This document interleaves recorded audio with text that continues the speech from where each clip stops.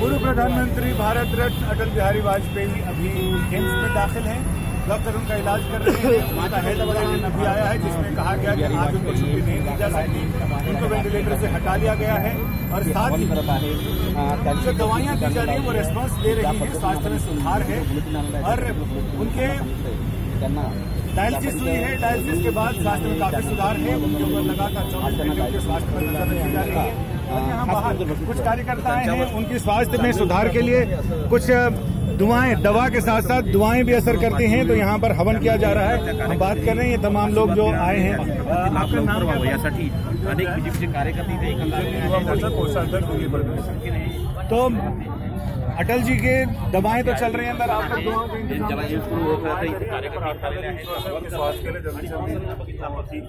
और घर वापस आए। तो हमारे को बड़ा ईश्वर के ऊपर विश्वास हो रहा है और धन्यवाद कभी जो न्यूज़ बुलेटिन आई है उसके अंदर थोड़ा फ़र्क महसूस हुआ है उनका अच्छा स्वास्थ्य बेहतर हुआ है। और ईश्वर ने हमारी मनोकामना सुनी है हमारी प्रार्थना सुनी है उस हिसाब से हमारे रिज़ल्ट कार्यकर्ते डॉक्टर आलेले आहे आणि हैं। पद्धतीने के एक स्वास्थ्य को कैसे और बेहतर बनाया जाए दवाएँ चल रही हैं इलाज चल रहा है बाहर दुआओं के में लगे हैं तमाम लोग ताकि पूर्व प्रधानमंत्री प्रखर पत्रकार अद्भुत वक्ता राजनेता एक स्टेट्समैन वो किस तरह से उन चिरायु हो उनका स्वास्थ्य बढ़िया हो उन तमाम चीज़ों को लेकर डॉक्टर अपनी तरफ़ से लगे हैं इधर बाहर उनके भी